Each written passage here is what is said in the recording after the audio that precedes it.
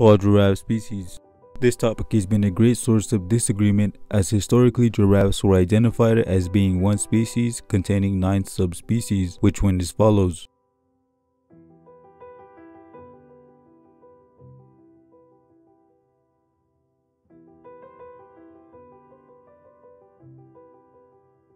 But recent studies conducted by the Giraffe Conservation Foundation found that there were actually four separate species. This study conducted the first ever DNA sampling and analysis of all major populations of giraffes. Please don't forget to check the description for sources and credits. Please consider subscribing and if you are already subscribed, I appreciate you very much. Comment your opinion and thoughts on the topic in hand. Let's get to it. First up, we have the northern giraffe containing three subspecies being the Nubian giraffe, Kordofan giraffe, and the West African giraffe. The range of the Kordofan giraffe includes southern Chad, western Sudan, and northern Cameroon. It's estimated that approximately only 2,300 individuals survived in these war-ravaged countries, being only about 20% of the former population. Being classified as critically endangered, the Kordofan giraffe spots are pale and irregular, being void of any pattern on their lower legs.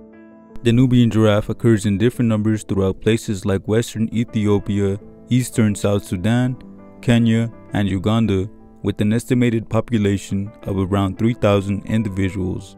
Although not fully concrete due to the fact that unknown populations in Ethiopia and South Sudan exist, but based on the rate of decline, the Nubian giraffe has declined 95% over the past centuries. The Nubian giraffe having large rectangular and chestnut brown patches bordered by creamy white and like the Kordofan giraffe having no markings on their lower legs. The West African giraffe being found in an isolated pocket of East Capital Niamey. Only about 30 years ago there were less than 50 individuals remaining. But thanks to the Nigerian government, they stand about 600 strong at the moment. West African giraffes are noticeably lighter, having tan colored rectangular patches.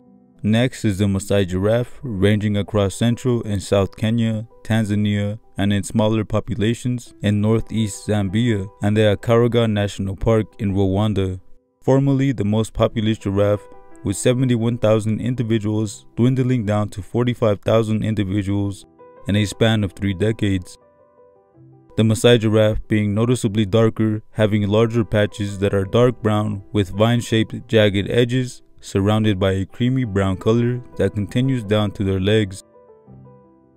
Further information is required to establish whether Thornicroft giraffes are genetically identical to the Maasai giraffe or if they should be classified as a subspecies. Third, we have the southern giraffe, with the two subspecies that make up the southern giraffe species making up 50% of the continent's total giraffe population. One subspecies being the Angolan giraffe with ranges included in central Botswana, Namibia, and various areas in Zimbabwe.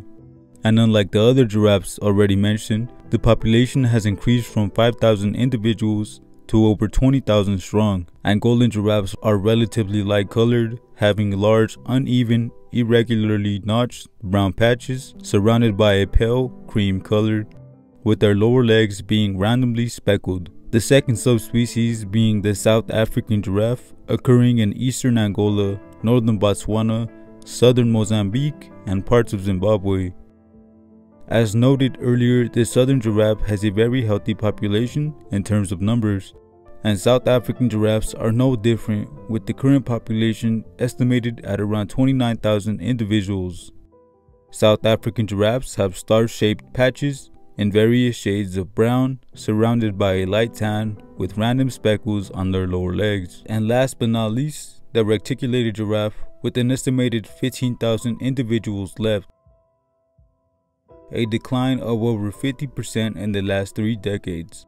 Reticulated giraffes have a somewhat limited distribution across northern and northeastern Kenya, and even smaller populations in southern Somalia and Ethiopia.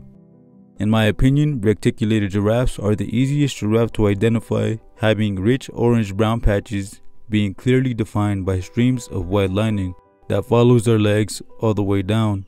That's going to do it all for today. Please feel free to drop your feedback or comment on this video. This is Animal Know I truly appreciate you for watching. Until next time.